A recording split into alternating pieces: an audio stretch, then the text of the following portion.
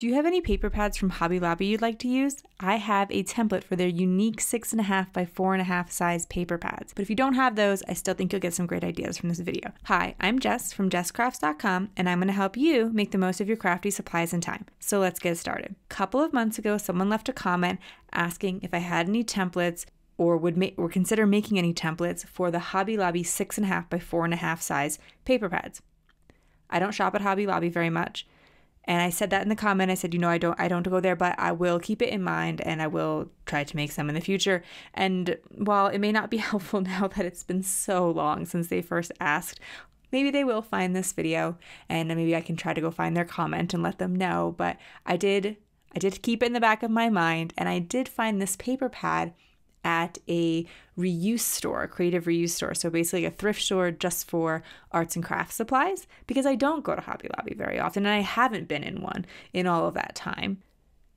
So, this is a baby sort of themed paper pad, and it would not be my first choice but I thought, well, this is, you know, what is presented to me and this is what I saw. So I'll go ahead and get it and, and make some templates so that hopefully some of you can benefit. And if you have anything like this in your stash. So this first template, it makes one card all of the templates that I will create for the sides will make one card, in part because when I bought the paper pad, I noticed that there's 120 sheets in the paper pad. So even if you only made one card from each sheet, it would you would still wind up with 120 cards, which is quite a lot. And so I didn't I certainly didn't want to make more than one card from each sheet. I really wanted to help people if they had these paper pads to go through them more quickly and still have a good result. So this one, you cut the paper in half, so it's about four and a half by or it's four and a half by three and a quarter.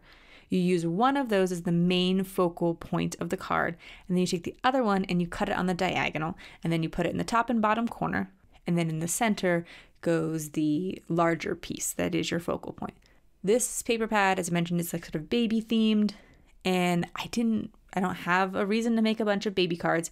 There are plenty of papers in the collection that are great for just kid cards in general and aren't like they don't explicitly say baby all over them by any means. So I made an effort to try to make sure that my card didn't look too much like a baby card. However, I did wind up picking this blue as my cardstock mat for the large focal point in the center and then for the sentiment as well.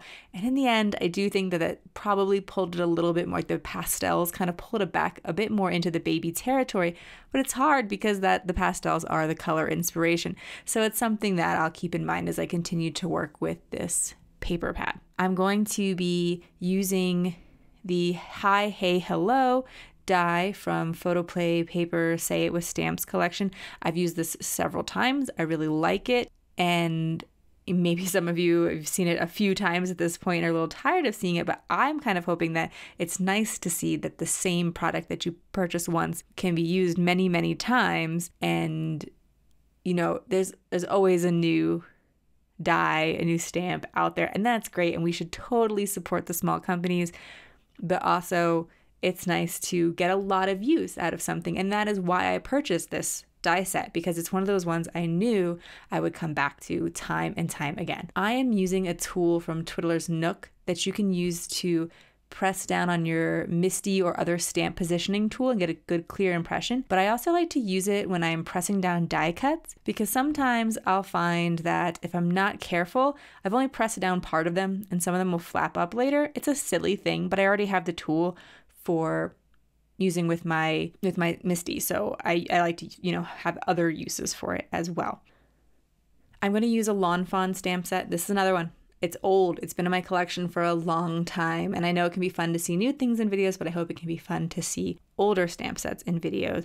And I had the dies for this and it was like perfect. I, you know, the uh, paper collection has the wild safari animals in it. So why not use this stamp set that I've I've loved for so long on it. I'm going to do some simple warm gray coloring because that matches a little bit more with the coloring that is in the paper pad. I'm going to put shadows on both the front and the back of the zebra just so that he appears pretty rounded. And then I, because this is from so long ago, I have the coordinating dies because this is before I had a scan and cut machine. So it makes it super easy to finish those off.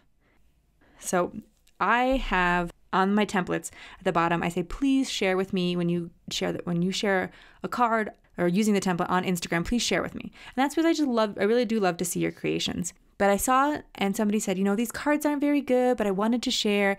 And part of me was like, but your cards are fantastic. But I hear so many crafters say that, like, oh, mine aren't very good. They're not like YouTuber or whatever.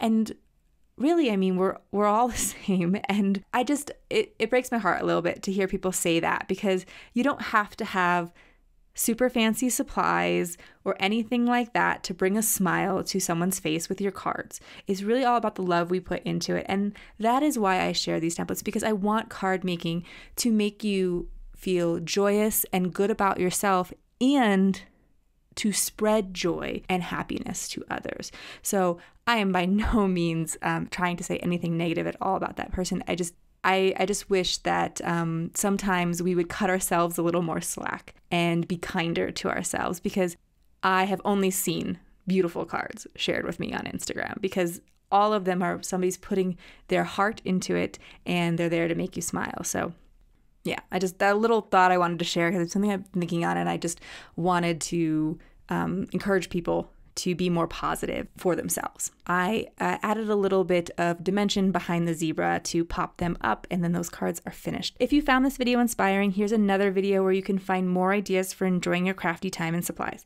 Let me know you like this video with a share to your crafty community. Subscribe and click the bell so you don't miss the next template or tutorial, and check the video description for product links. See you in the next video.